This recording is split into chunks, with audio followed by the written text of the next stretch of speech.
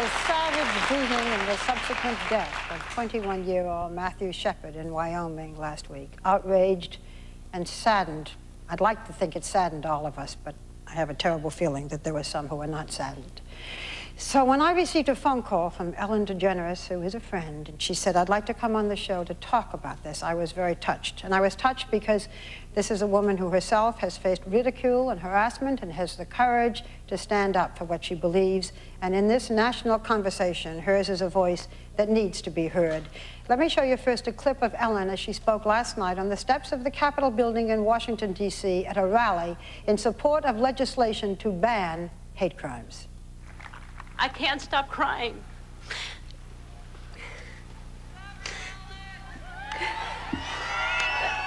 You know, I, I just, I, I, mean, I know we all feel the same way, and I'm, I'm here, and I'm, you know, he's got these two close friends here, and I'm, I don't even know him, and I'm thinking this is just really selfish of me. I mean, what, pull yourself together, and, and it just hit me why I am so devastated by it. It's because this is what I was trying to stop.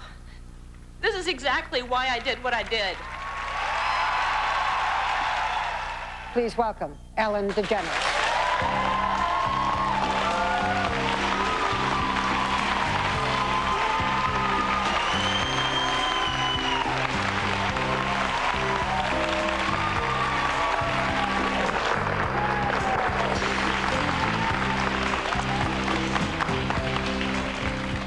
Want to talk about hate crime legislation and whether it can make a difference. But first, I want to speak to you personally. I mentioned earlier when we were in the Hot Topics that I went to see Elton John last night.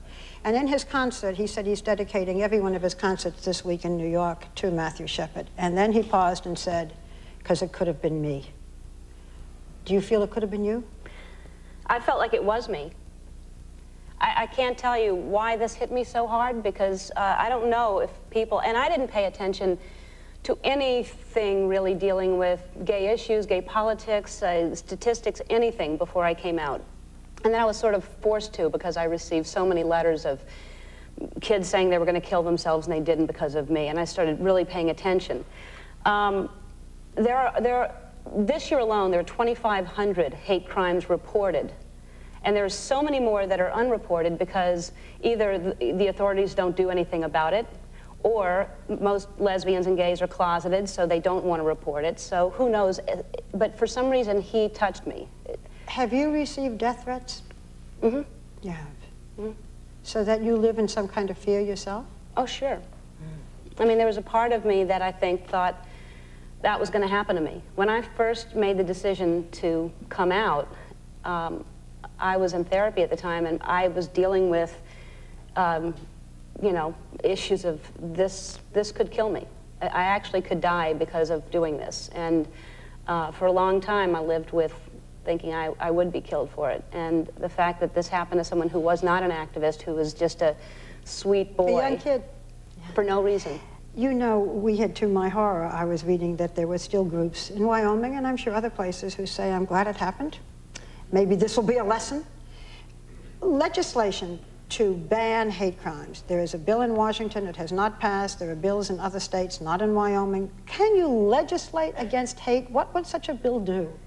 Well, first of all, I mean, every crime is, is some type of hate. And everyone's saying, uh, you know, everything's a hate crime. These two German tourists who, was, who were just killed in Santa Monica, but it was not the same kind of, when someone robs someone, when someone shoots someone because they're trying to take a wallet, it is not torture like they did We should explain that these bills, what they're trying to do is to say that what, there'll be an extra penalty if it is a crime committed because of race, religion, or sexual orientation. Right, because yeah. the intent is because of, it's, it's for yeah. no other reason other than the boy was gay and they went out and tortured and killed him because he was gay.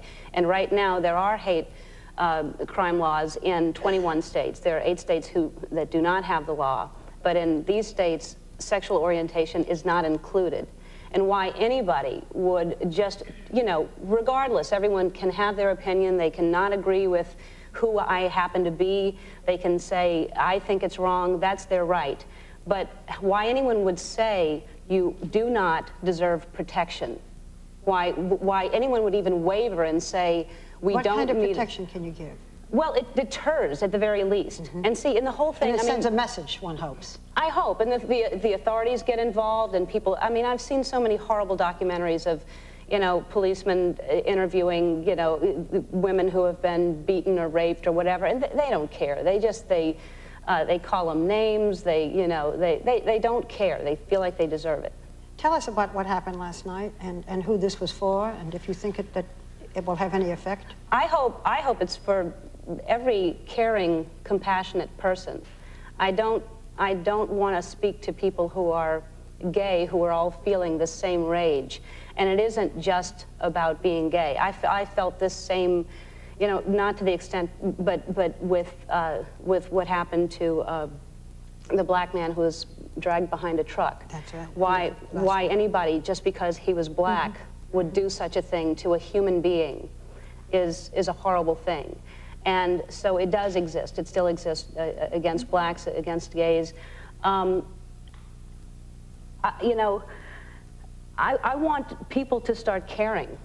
You know, when, when Hitler was killing all the Jews, it was a few good Germans who decided we, we can help them. We can hide them and we can help them live. We need non-gay people. We need heterosexuals to help us now because we are under attack.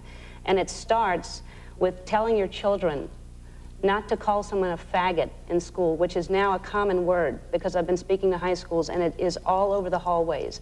And it's okay to call someone a faggot. And then it leads to pushing, and then it leads to gay bashing, and then, and then it leads to killing. You know, I was saying the last time I was on the program, I remembered in South Pacific, and I sounded 200 years old, but I remembered that there was a verse that went, You've got to be taught, and this was about racial. You've got to be taught before it's too late. Remember this? Before you were six, you probably don't remember. My, no, my mother before you were six or seven or eight, to hate all the people your relatives hate. My mother always talks about that lyric in that song, yeah. Well, we want you to stay with us and come back, and we want to talk about you as well. Okay. And, and what, what you're doing and what's happening, and I'm awfully glad you came on with us. If Thank we can enlighten and just begin when they're young, maybe such a thing will be will be forgotten and, and in the past, I pray so. We'll be right back with my co-hosts who are going to ask questions on, on all of our minds. What has life been like after Ellen? Not this Ellen, the other Ellen, who was this Ellen? Stay with us.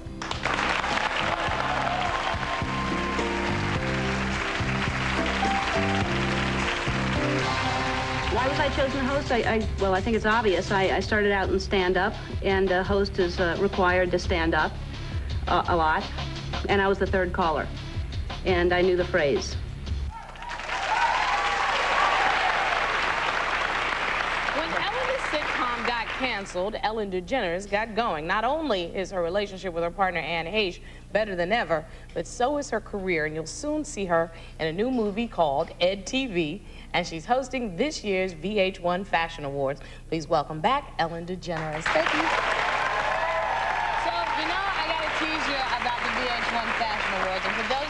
Know about it, it gathers together designers, models, musicians for this great, wonderful night. Right. So, Ellen, fashion maven, aren't you? Well, when you think of fashion, Exhibit A.